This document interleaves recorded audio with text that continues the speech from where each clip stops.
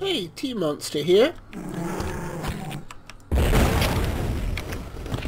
There's been a number of uh, discussions here and there on whether you can actually export MD3s from the latest version of uh, Blender 2.8. Well, I'm here to show you that you can, and I'm going to tell you how to do it. So, uh, strap in, and off we go. Okay, we're going to come here, which is uh, duke4.net. I'm going to give the exact uh, address in the YouTube description. And here at the moment is where the MD3 export for 2.8 lives. It was uh, updated by user Photonic and uh, it is available here at the moment. Um, this may change but right now this is where it is. Okay, we have our uh, export file here right hand click, copy, go down to C, program files, we need Blender Foundation, 2.8 whatever it is, uh, 2.81, scripts, add-ons, right hand click, and paste. Okay, now we're in 2.8, we go to Edit, Preferences, add-ons. MD3 load type. And there we are. Make sure that check mark box is there and we're ready to rock and roll. Okay we're here in Blender again and uh, we've got our shotgun we have our pickup and we have our skeleton to animate it with. Now what we're going to do is do a couple of little pre-flight checks to make sure everything's okay uh, namely the fact that we have UVs, that everything's ready to go on export, and a few basic checks to make sure that we are making life easy for ourselves and we're not going to wind up uh, scratching our heads later on. So, uh, before we do anything else, we're going to make sure that there's a UV map. Uh, just go to where it says UV editing, and yes, we have a UV map. That all looks like it's copacetic. Very good. Uh, one more thing is that the current version of the exporter does not have an automatic triangulation uh, checkbox. It doesn't do that for you anymore.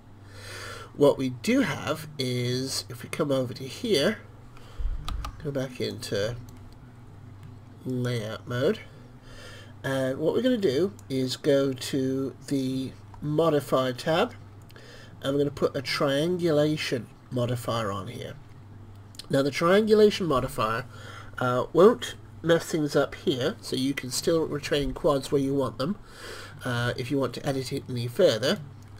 Uh, but uh, when it exports it will triangulate, uh, otherwise you'll get weird error messages. Okay, so that's in there, ready to rock and roll. We have our armature for the actual skeleton.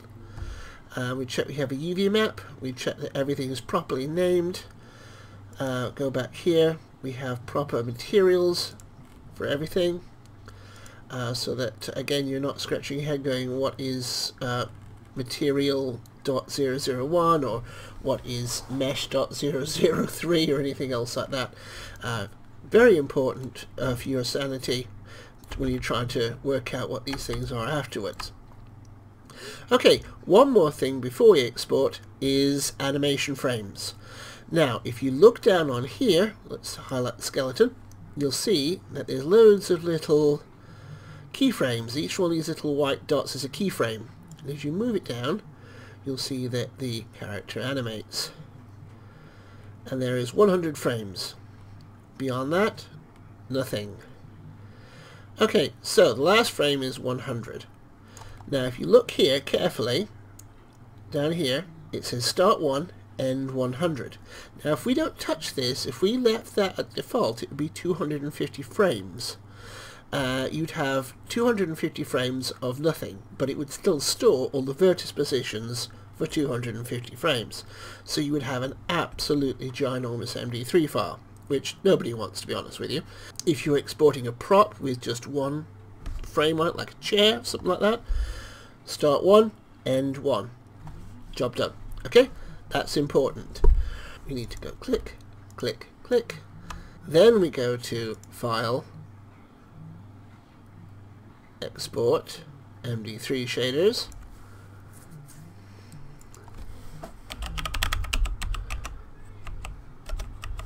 Piggy.md3 and export. That will take a little while to go through.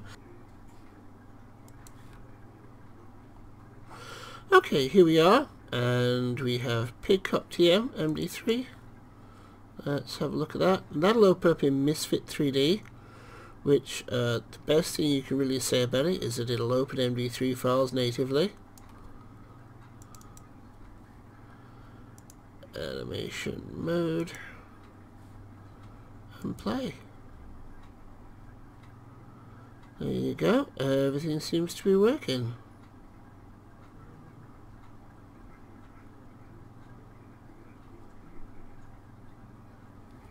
There's a little tail back on his hand, we've got to fix the weighting, but generally that's how you do it.